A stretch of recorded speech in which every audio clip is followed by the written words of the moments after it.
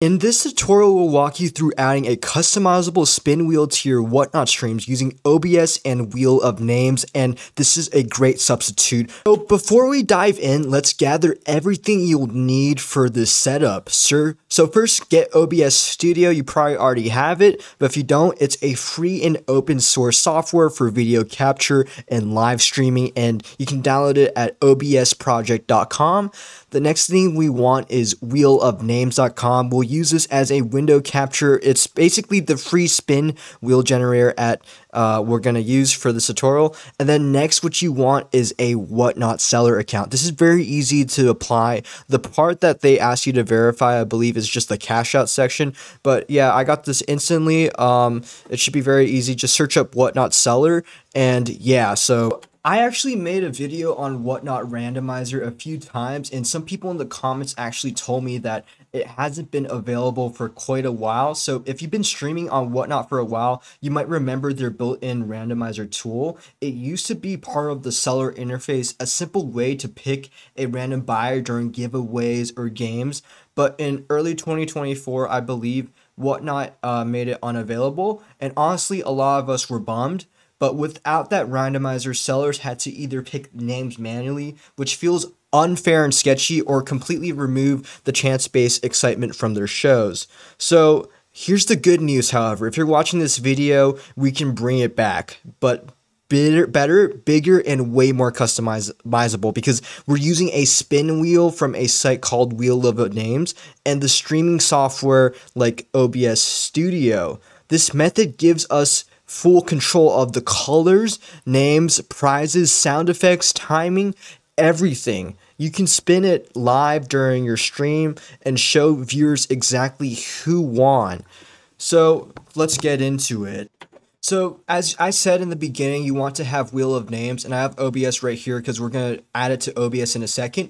But once you're in Wheel of Names, let's set it up your way. This could be, so for example, I could say I can do a Pokemon bundle uh, prismatic for my first one. And you just go to the next line. You can just say uh, Pokemon, what, whatever, Pokemon bundle, I don't know, Charizard whatever whatever you want it could be names of the audience members or specific vip members and then you just have to click to spin or press enter and you can click customize if you want at the top, which is right here, customize.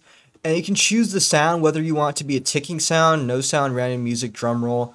Um, and you can even choose music if you want. Uh, I prefer specifically the ticking sound because I can choose my own music and you can choose the spin duration. So if you want to be like really short, fast paced, and excited for like specifically like a giveaway that you have multiple hundreds of viewers in, I would set it to like um short or something, maybe like four seconds.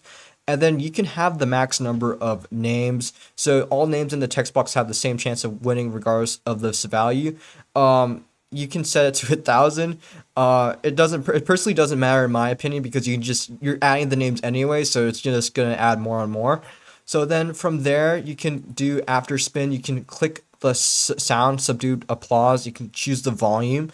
You can also animate the winning entry or auto remove winner after five seconds. So this basically just whoever won the spinning giveaway, it just auto removes them. So for the next turn, it's just gonna be the people who didn't win. So perhaps they have a better chance of winning the next giveaway. It's just like like you don't want the winner to win multiple times type of thing right? And you can have a pop up with the message, we have a winner, or you can say like, uh, this person um, won the Pokemon giveaway, something like that, right?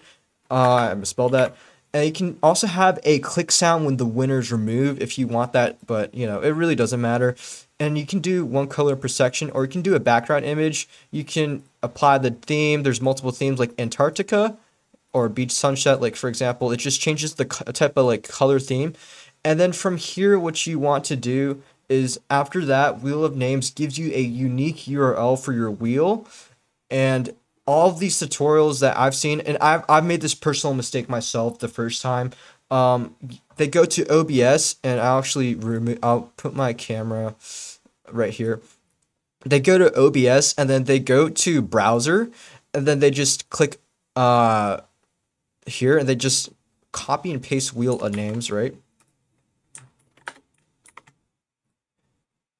And they have the spin wheel right here. But the problem with this is if you click interact, if you click interact, I don't know if you see this, and you click these three bars right here, you have no way to customize the entry. I've tried so many times to customize the entries and you can only use these default values right here. You can actually change the uh, name and description, but personally this doesn't uh, work for adding the specific, you know, um, entries that you want to add. So what to do, what you, what you actually need to do is you need to add in a window source. So you need to have this separately on another browser and you can use uh, two you can use this as a virtual camera if you're streaming this onto specifically uh, integrated uh, streaming platform that Whatnot has. So this is just a camera. The camera is the spin wheel.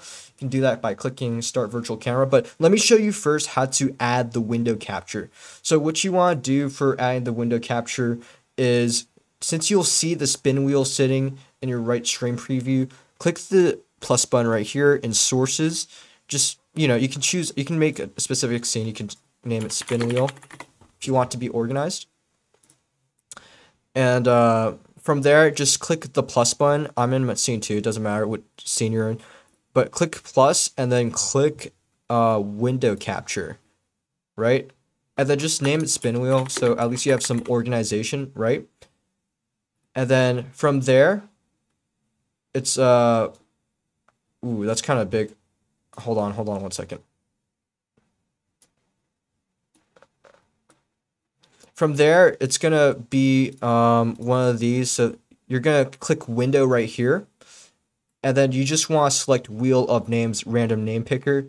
And just click the automatic capture method and click OK. And then once it's here, you just want to drag it to the top.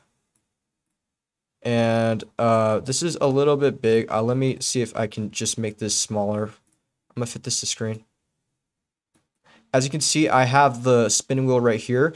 And if you want to crop it like so it doesn't fill out fill up the whole screen, um, what you want to do is you want to hold Alt. So it's in the bottom left of your keyboard. You want to hold Alt and then you want to drag on this uh, you want to drag on this border right here.